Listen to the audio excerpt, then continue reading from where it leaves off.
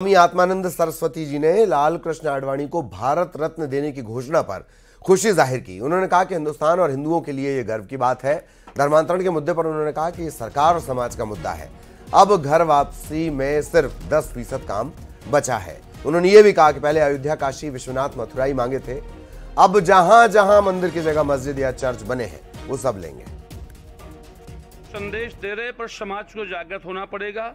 समाज के अंतिम और पिछड़े लोगों को हृदय से लगाना पड़ेगा। उनको लोभ के द्वारा धर्मांतरण कराया जा रहा है। उनके सहयोग के लिए हमें आगे आना पड़ेगा। तभी ये धर्मांतरण रुक पाएगा। केवल सरकार के सहारे से धर्मांतरण नहीं रुक सकता है। हमें आपको सबको जागृत होना पड़ेगा और समाज के अंतिम से अंतिम व्यक्ति तक पहुँचना पड़ेगा। तब धर्मांतरण रुक पाएगा। रायपुर की सुंदरता बढ़ाने के लिए निगम और स्मार्ट सिटी की तरफ़ से हर साल अलग अलग लोकेशन पर वॉल पेंटिंग करवाई जाती है। इसके बाद इन कृतियों को बचाए रखने के कोई इंतज़ाम नहीं होते। यही वजह है कि इन पेंटिंग्स पर बैनर, पोस्टर चिपका दिए जाते हैं। पेंटिंग खराब होने लगती है। यह अव्यवस्था पूरे शहर में है।